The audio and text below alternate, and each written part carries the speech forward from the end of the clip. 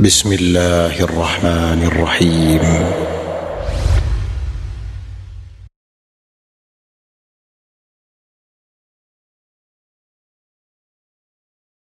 فضيلة الشيخ هل الأشاعرة من أهل السنة والجماعة؟ نرجو التوضيح. الأشاعرة من أهل السنة والجماعة فيما وافقوا فيه أهل السنة والجماعة وهم مخالفون لأهل السنة والجماعة في باب الصفات لأنهم لا يثبتون من صفات الله إلا سبعا فقط. ومع هذا لا يثبتونها على الوجه الذي أثبتها عليه أهل السنة. فلا ينبغي أن نقول هم من أهل السنة على الإطلاق ولا أن ننفي كونهم من أهل السنة على الإطلاق.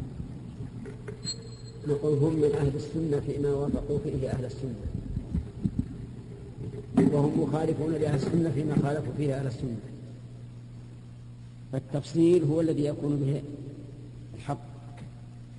وقد قال الله تعالى وإذا قلتم فاعدلوا. فإخراجهم من أهل السنة مطلقا ليس من العدل.